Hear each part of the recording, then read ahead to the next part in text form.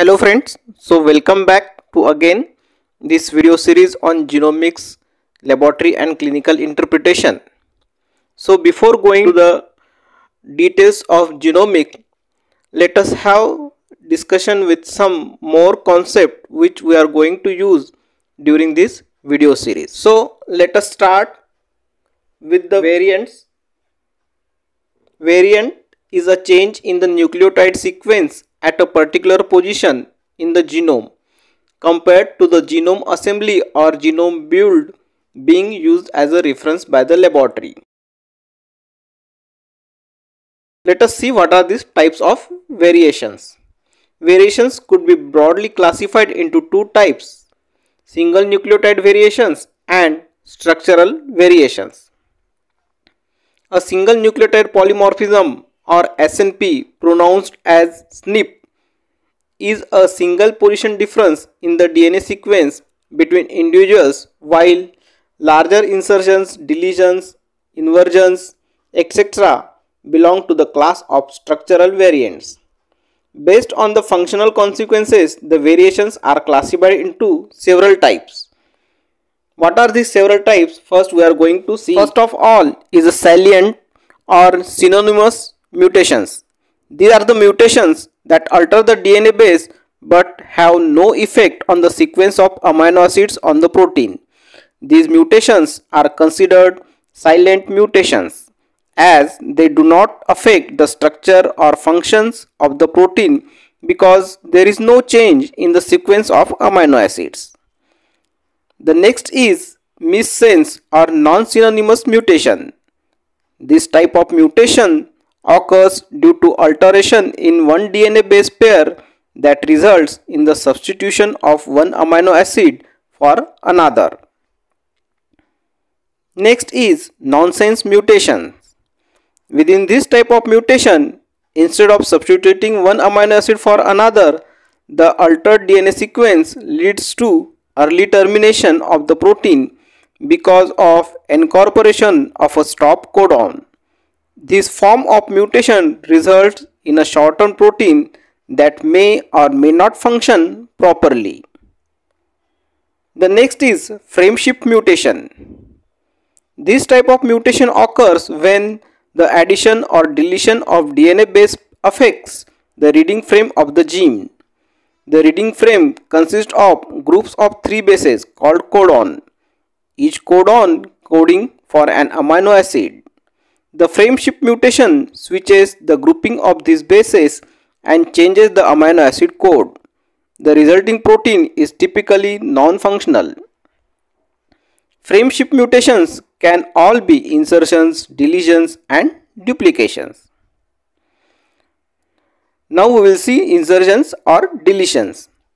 Insertion increases the amount of DNA bases in a gene as few bases are inserted. A deletion can remove a stretch of DNA.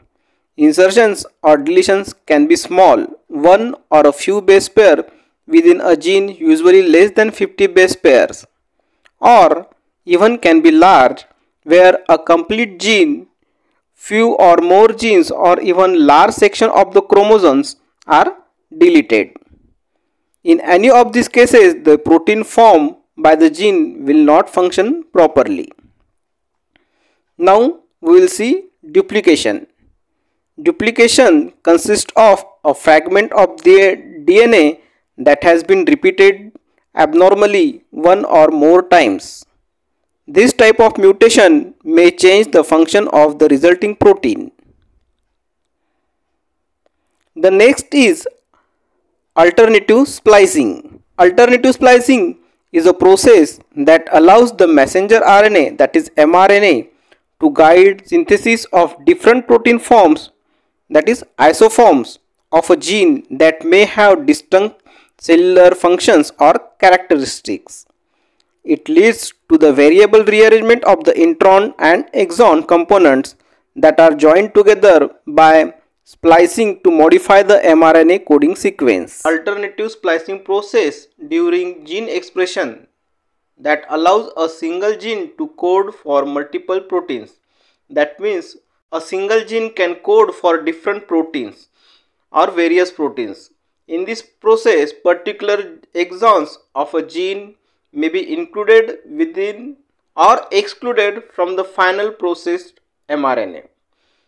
This means the exons are joined in a different combination. Uh, that means these genes or these exons will be combined in a different combination leading to a different mRNA. Consequently, the proteins translated from alternatively spliced mRNA will contain differences in their amino acid sequences. So, alternatively splicing allows the human genome to direct the synthesis of many proteins than would be expected from its 20,000 protein coding genes. Because of this alternative splicing, more proteins will be synthesized or will be formed from these protein coding genes. There are numerous modes of alternative splicing observed of which is most common is exon skipping in which a particular exon will be skipped during the splicing process and the final uh, mRNA which will be formed will be a different product. This was about the type of variations what we have seen till now in this series. Now we will see some more terms which will be very helpful for us to understand the mode of inheritance. So what are these different concepts? These are we are going to see are modes of inheritance.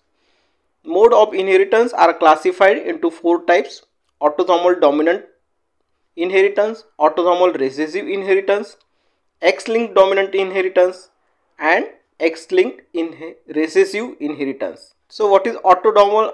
So first, what is autosomal dominant inheritance?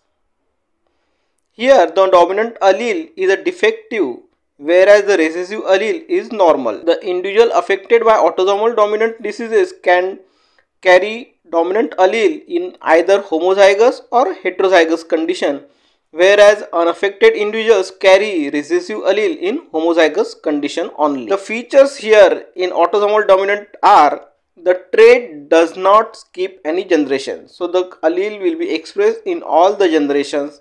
Equal chances of both male and female child to get affected. So here it doesn't have any sex differentiation while the expression of genes or while the expression of characteristics and it is transmitted by either sex. So both male and female can transmit the character. The next is autosomal recessive inheritance. In this case, recessive allele is a defective whereas the dominant allele is normal. The individual affected by the autosomal recessive diseases carry recessive allele in homozygous conditions whereas the unaffected individuals carry dominant allele in either homozygous or heterozygous conditions. The features are autosomal recessive character will skip the generations. There is equal chance for both and female child to get affected. It is also transmitted by either sex. Most affected individuals have unaffected parents as it is a it is expressed only in the homozygous forms so there may be a chances that uh, affected children will have unaffected parents if both the parents are affected the children should be affected as genotype of the parents would be homozygous. The next is x-linked dominant inheritance. In human beings males have x and y chromosome whereas females have only x chromosome. So, an unaffected male will carry the defective allele in homozygous conditions. And affected female will carry the defective allele either in the heterozygous or homozygous conditions. The characteristics are the X-linked dominant inheritance will not skip any generation. It affects males always from the affected females. Affected females always come from affected mothers or fathers there are 50% of child of an affected heterozygous mothers to get affected all the daughters and none of the sons of the affected fathers are affected now the final one is x-linked recessive inheritance here a female will become affected if she carries two defective allele on x chromosome that is she is homozygous a male will become affected even if he carries one defective allele on X chromosome as there is no counterpart of an allele on Y chromosomes. The features are most affected individuals are male. Affected son always come from affected or carrier mothers. Affected daughters come from affected fathers and carrier or affected mothers. Sons of affected female should be affected. There are 50% chances for each son of a carrier, carrier female to be affected. So this is how we have seen in brief about the modes of inheritance. So we will conclude this lecture with this some important concept and from the next lecture we will start our main uh, aim of the series regarding the interpretation. So thank you and keep following.